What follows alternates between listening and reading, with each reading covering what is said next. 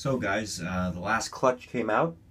Um, they're not shed out yet, but I thought I would give you guys an updated video anyways because uh, some of the other stuff shed out. And I just want you to see how some of it is going. So let's start out with the first snake over here. Sorry if the camera's moving all over the place. Only got two hands. So let's take a little look at what we got here. So this right here uh, is looking like it may actually be a world's first. This is the Super Black Pastel Hypo.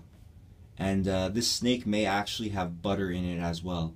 Uh, we were kind of expecting the snake to end up a little bit darker.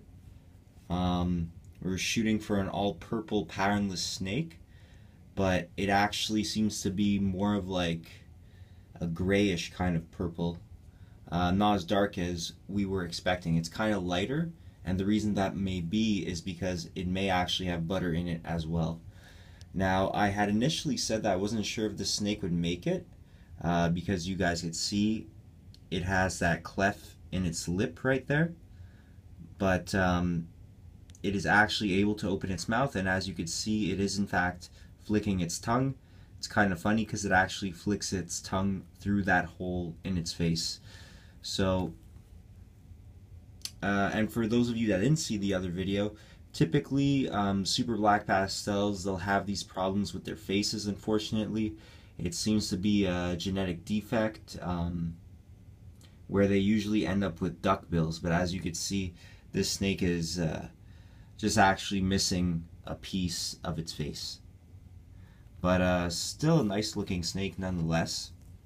Got a little scared there and there's no other kinks throughout its body, which is very nice. Because sometimes they do have kinks along the uh, vertebrae, but this one, the only imperfection is the face. And uh, this is actually a female. So, and like I said, um, I've been looking online and I cannot seem to find any images or posts about a super black pastel hypo. So this may be the first of its kind, um, it could be that the others, if they were born, were so messed up that they weren't able to live, or maybe people were just too embarrassed to show uh, the babies just because of the genetic defects that they may have been born with. But uh, anyways, pretty cool snake nonetheless. Uh, obviously, won't breed it, but we will keep it and uh, we'll grow her up. There you can see the uh, top view of that cleft lip. So that's one of the cool animals that we hatched out this year. Um, we actually have, I believe this is a female, which we lucked out on because we keep producing males of these guys. But this right here is a butter black pastel orange ghost. Um, if you guys have been following my videos for I guess the last three years, even year, you guys will know that we produce these. Um, we've been lucky enough to produce at least one every year so far. And uh, this time we got a female because last year we actually still have a, a uh, 2014 uh, male if anybody's interested. And this is a 2015 female. We unfortunately did not get any uh, black pastel ghosts, but we still have 1.1 from last year. Um, so the other stuff that was in that clutch is just two regular orange ghosts and a butter ghost.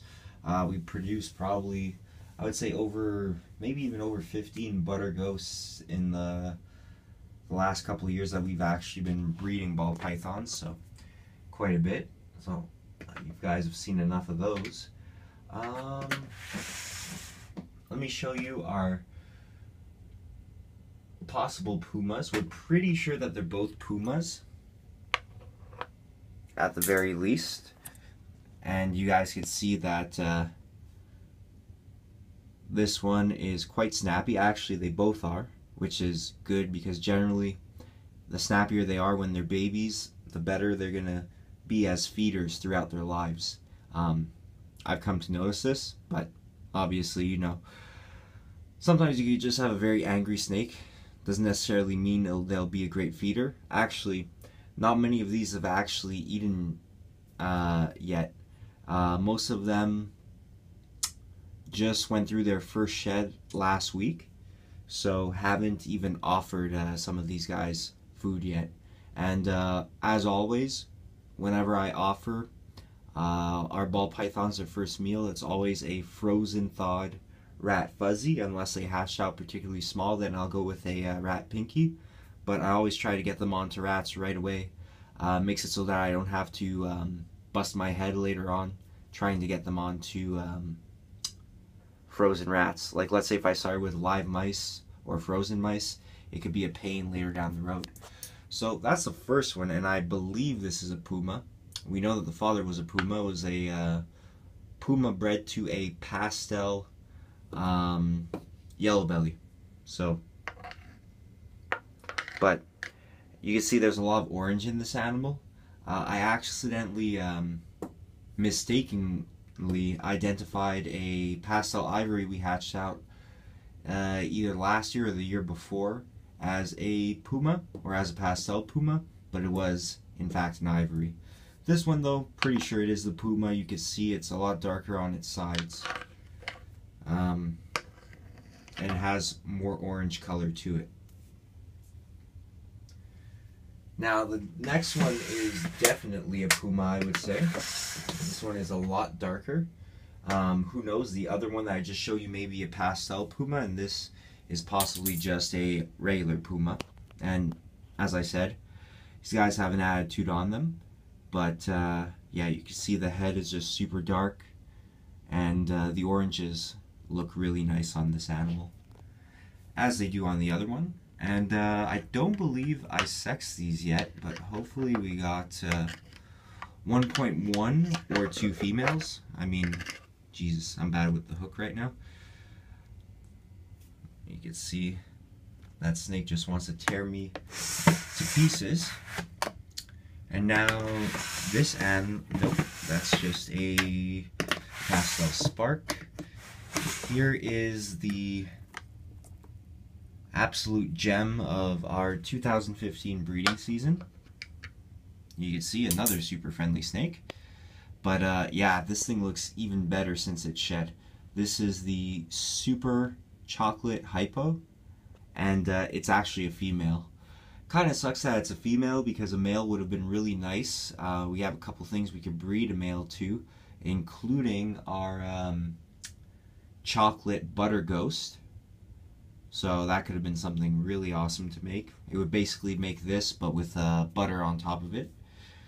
Um, but we do actually have a male butter chocolate that's 100% het ghost. So um, that's probably what we'll end up breeding to her eventually. And I uh, just want to make sure you guys could appreciate her color. Um, you see the kind of purple that's on her, that's kind of what we were expecting on the uh, super black pastel. But uh, yeah, that one ended up more gray, but the purple on this thing is absolutely crazy. And I love the orange on her. Um, especially the face. I don't know if you guys could tell, but the face is much more purple and orange than the rest of the body. So believe it or not, this is not my favorite snake we produced this year. So angry. I'll actually show you guys just quick because we're getting near the 10 minute mark. The uh, super chocolates that are Het Ghost. Uh, 1.1 of these if anybody's interested. And then of course these are the key ingredient into making what I had just shown you guys. Uh, so we have 1.1 of them. I believe this one here is the female. But you guys can see they're awesome looking. So dark. Um, show the other one here. Actually, this one may be the better looking one. I guess depends what you like. The other one I think has a little bit more contrast to it, but this one is also very nice. And then we have a chocolate ghost that's over here. Don't believe I, uh, I possibly did sex this one in the video earlier, but I can't recall if it's a male or a female, but that'll also be available. Actually, I think I we have 1.1 of those. Because here's the uh, the other chocolate ghost. This one's actually very nice looking. Um, but now, it's time to show the other clutch that hatched out. And this other clutch actually has my favorite snake that we produced all year. You guys can see it's just a big ball of white, basically. Um, we have a pastel ivory here. That's deep into shed. Pastel ivory. And the snake that I actually really like is the most aggressive one in the clutch. I mean, usually they don't start biting at you until their first shed. But I'll give you guys a quick look at this little dude here. Um, now, you guys may look at this and be like, well, I mean, I guess it's kind of cool. It's it's nothing too special to make, but um, you guys know that I'm a huge fan of carpet pythons, and one of the big reasons behind that is I really like yellow snakes, and this snake will be amazing once it sheds.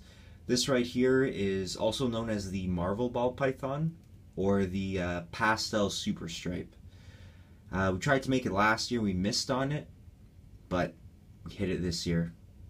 And I'm super excited for when this thing sheds. You could tell the pattern is crazy, that broken stripe down the back.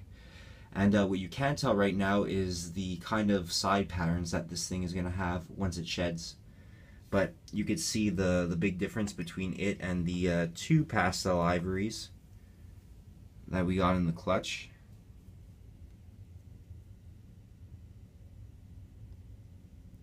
I mean, even they have that broken line down the back, but this obviously here is a super stripe, and these two, I don't believe are, but who knows, man. These white snakes, they, they confuse me. Anyways, hope you guys enjoyed the video. Please subscribe.